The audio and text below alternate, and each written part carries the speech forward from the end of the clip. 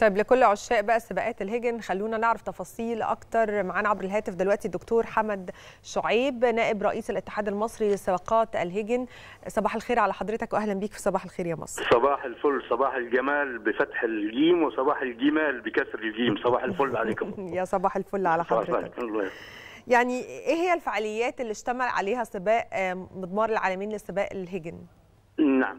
ويمكن يمكن بداية هو ال ال ال الرأي من الخارج أو المشاهد عن بعد يعتقد أن هي عبارة عن سباقات فقط ولكن بأمانة هي هي عبارة عن نافذة على الموروث الشعبي البدوي بوجه عام. هذه رياضة كما ذكرتم في تعليقكم في تقريركم أنها رياضة قديمة ويعني قدم التاريخ. والناس طبعا كانت سباقات داخلية. بين القبائل في أو في في التجمعات البسيطة. ثم بدات بدأنا في تأسيس أول نادي في منطقة بير العبد. ثم الاتحاد المصري أسس عام 2002 يعني إحنا حاجة و20 سنة الآن 21 سنة لتأسيس الاتحاد المصري لسباقات الهجن. بدأ أول مضمار أقيم أول مضمار في مدينة العريش. وبعده يمكن بدأ في اقمنا مضمار آخر كبير في شرم الشيخ وهو مضمار عالمي. ثم في 21 أكرمنا الله في محافظة مطروح وأقمنا مضمارين.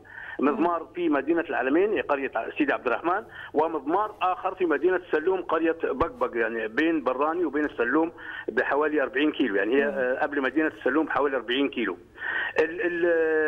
التجمعات اللي حضرتك بدا بدأت أو يجذبها هذا النشاط بدأت من رأس الدولة سواء كان في مصر عن طريق السيد رئيس الجمهورية. ثم سمو الشيخ محمد بن زايد رئيس دولة الإمارات بدعم لهذه السباقات حضروا يعني حضر السيد الرئيس وسمو الشيخ حضروا في شرم الشيخ بطولة من البطولات وسمو الشيخ حضر أيضا في العلمين كان يمر بسيارته مع المارين بسيارتهم حول السباق. طبعا حضرتك إن إحنا الآن الراكب مش راكب بشري. زمان كان الراكب على ظهر الجمل راكب بشري الآن راكب آلي يحرك ب اسمه روبوت يحرك ب remote control من خلال سائق السيارة الذي يدور حول هذا الملعب. يمكن البطولة دي لما نقول تنشيطي في بطولات أخرى أكبر يعني كانت منذ أيام أو شهر 8 أعتقد كان في بطولة تعتبر أكبر لأن إحنا بنقول تنشيطي اللي هي بتبقى جوائزها أقل من جوائز البطولة الأكبر اللي هي بيبقى فيها توسع وحتى العدد الجمال يعدي الألف جمل. البطولة دي تحديدا شارك فيها حوالي 400 من الهجن زي ما برضه تفضلتم في التقرير ان إن وصلنا لمرحلة الآن إن أنا مش محتاج يعني كان زمان يحلف لما يجي صاحب الجمل يدخل البطولة يحلفوه ده جملك لا مش جملك لا الآن أنا بالشريحة اللي موجودة في داخل الجمل أعرف تاريخ ميلاده أو جاي منين وكل ما أعرفه أنا. الآن إحنا عندنا على فكرة جمال موجودة في مدينة الطائف في السعودية عندنا 80 جمل حاليا موجودين في بطولة الطائف بحول الله أي. ستنتهي البطولة يوم 8 9 الحالي نعم. طيب أنا أنا برضو يعني يهمني يعني أعرف انعكاس مهرجان العالمين على حضراتكم. امبارح كان الختام بتاع مهرجان العالمين وبطولة الهيجن تقام خارج الفعاليات الرسمية لهذا المهرجان ولكن بالتأكيد في تأثير. نعم. إيه هو نعم. التأثير ده؟ صباح الفل أستاذ مصطفى. هو بالفعل هو تأثير إيجابي تأثير م. غير عادي. اولا طبعا يقولون دائما الإنسان عدو ما يجهل. في البداية إحنا بالنسبة للمنطقة الغربية نختلف عن أهلنا في الشرق يعني في الإسماعيلية وفي سيناء الهجن معروفة.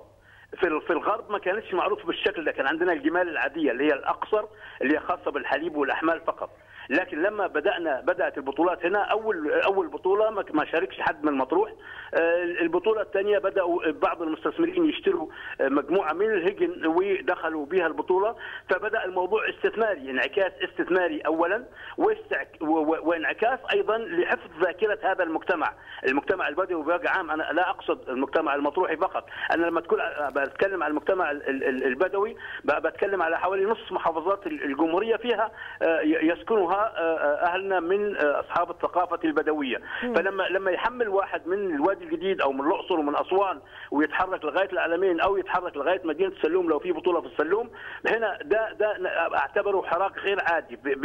في نفس الوقت إحنا زمان كان بنحتفي بالموالد وبالكذا وبالاحتفالات الكبيرة كانت بتبنى الخيام. هنا برضه في البطولة قبل البطولة بحوالي خمس ست أيام بيبقى في رواق غير عادي في بيع وشراء وحراك والسواح اللي يجوا الناس المستغربة المشهد. في ناس تيجي بسيارتها سيارات دفع رباعي مخصصة بتيجي بت بت بتقول حول المضمار اللي هو 5 كيلو متر. يعني يعني أنا عاوز أقول لحضرتك إن بدأت الناس يعني تتفهم إيه هو إيه هو موضوع الهجن دي تحديدا. وفي نفس الوقت زي ما قلت لحضرتك إحنا عندنا مجموعة وعندنا بطولة بعد كده بحول الله هتبقى في مدينة الرياض وسافرنا لتونس بالجمال وسافرنا الكويت في الطيارة بالجمال. شاركنا في العديد من البطولات. لما يبقى المواطن العادي استشعر بأن هذه البطولة أو هذه هذا الكائن أنا أربأ بنفسي أن أقول عنه حيوان. لا لا هو في الحقيقة يعني الجمال أو الهجن بشكل عام يعني إحنا كمان ما بنعتبرهاش من الحيوانات لا إحنا بنعتبرها أكيد من خليني أقول الرياضات المهمة جدا السباقات دي النوع ده من السباقات ليه محبينه أو العشاق ليه من جميع أنحاء العالم أنا في الحقيقة أعرف ناس بتيجي مخصوص عشان تتفرج على حقيقي. هذا النوع من السباقات بنتمنى لكم كل التوفيق وبنشكرك دكتور حمد شعيب نائب رئيس الاتحاد المصري لسباقات الهجن وإن شاء الله مزيد ومزيد من النجاحات والسباقات اللي تجذب سياح مختلفين لهذا النوع من السياحة المتخصصة قوي. يعني في ناس بتحب النوع ده بالذات من السباقات. صحيح صحيح. حقيقي.